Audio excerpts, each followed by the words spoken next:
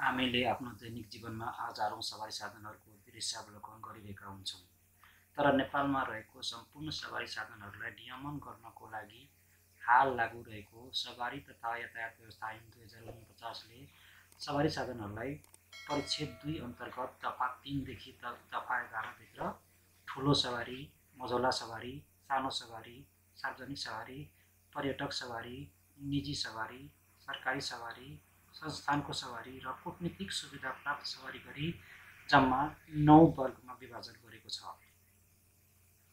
आजको भिडियो यही सवारीको वर्गीकरणको बारेमा विस्तृत जानकारी प्रदान गर्ने उद्देश्य राखी बनाउँदैछु। तसर्थ यहाँहरूमध्ये कोही पहिलोपटक मेरो युट्युब च्यानल नलेज हबमा आउनुभएको छ भने यो च्यानललाई सब्सक्राइब गर्नुहुन र यो भिडियो अन्तिमसम्म हेर्नुहुन अनुरोध गर्दछु। अब लागौँ आजको भिडियोको विस्तृत विषयवस्तुतर्फ ठुलो सवारी।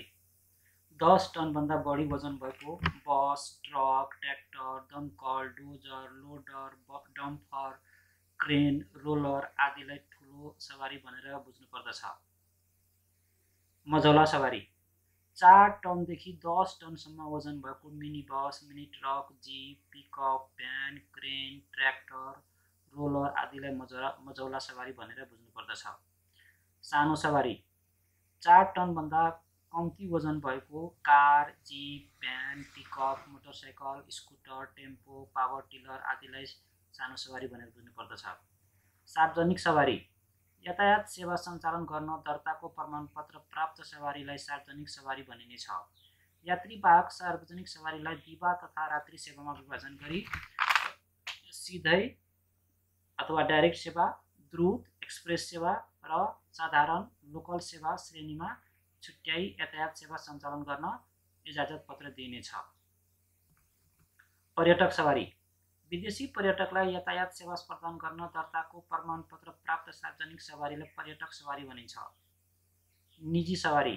निजी प्रयोगको लागि दर्ताको प्रमाणपत्र प्राप्त सवारीलाई निजी सवारी भनिन्छ। निजी सवारी यातायात सेवाको लागि प्रयोग गर्न पाइने छैन। सरकारी सवारी।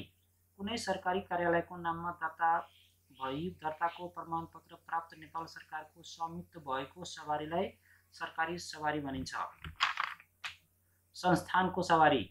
नेपाल सरकारको पूर्ण अधिकांश वा आंशिक स्वामित्व भएको सङ्गठित संस्थाको नाममा दर्ता भई दर्ताको प्रमाणपत्र प्राप्त सवारीलाई संस्थानको सवारी भनिन्छ।